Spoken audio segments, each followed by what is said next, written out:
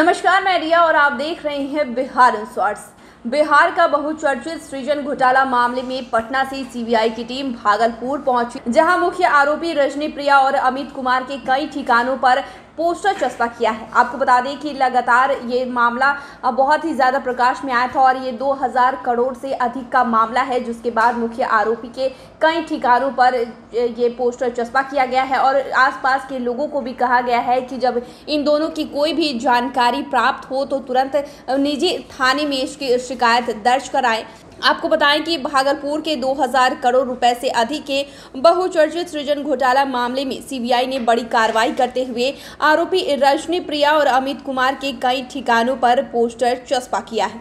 इसके अलावा आपको बता दें कि सीबीआई कोर्ट के द्वारा दोनों आरोपियों के खिलाफ पोस्टर निकाला गया है, जिसके बाद सीबीआई की टीम पटना से भागलपुर पहुँची और तिलका मांझी थाना क्षेत्र के न्यू विक्रमशिला कॉलोनी के अलावा कई ठिकानों पर पोस्टर चिपकाया है।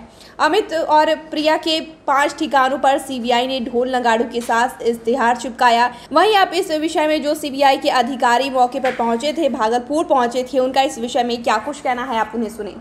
माननीय सीबीआई कोर्ट पटना के द्वारा श्रीमती रजनी प्रिया, वाइफ ऑफ़ अमित कुमार, निवासी प्राणवती लैन, तिलका माझी थाना, में उत्कोषित अपराधी, सर्जन घोटाला आर सी बारह सत्रह। सर्जन स्कैम अपराधी को उद्घोषित अपराधी घोषित किया गया है। अगर किसी को इसके बारे में कोई सूचना मिलती है तो नज़दीकी थाना तिलका माझी में सूचित करे। तो सभी को मानना पड़ेगा।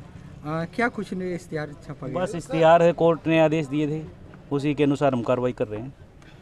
तो परिचय से? उन्होंने लोगों से अपील की है कि जो भी लोग अगर इन दोनों का किसी तरह से पता लगता है तो निजी थाने में आप शिकायत दर्ज कराएँ ताकि इन दोनों को पकड़ा जा सके। आपको बता दें कि ये बिहार का बहुचर्चित सृजन घोटाला है, जिसमें कई लोगों को गिरफ़्तार किया जा चुका है और ये मुख्य आरोपी जो है, वो उन्हें गिरफ़्तार करने के लिए कई ठिकानों पर पोस्टर चिपकाया गया है और जिसको लेकर पटना से सीबीआई की टीम भागलपुर पहुँची और उनके करीब पाँच ठिकानों पर पोस्टर चिपकाया गया है और साथ ही साथ लोगों से अपील भी किया गया है कि जो भी लोग इनके बारे में जानते हैं, उनके बारे में निजी थाने में आवेदन दें और ताकि इन पर कार्रवाई की जा सके। आपको बता दें कि इन लोगों से अपील करते हुए कहा गया है कि अगर कोई भी स्थानीय इन लोगों को देखे तो निजी थाने में सूचित करे। दरअसल आपको बता दें कि सृजन घोटाला के मुख्य आरोपी अमित और प्रिया सभी सीबीआई के पकड़ से बाहर है, जिसके बाद लगातार सीबीआई की टीम इन दोनों पर कार्रवाई कर रही है और पकड़ने के लिए तरह तरह से प्रयास भी कर रही है, जिसके बाद जो है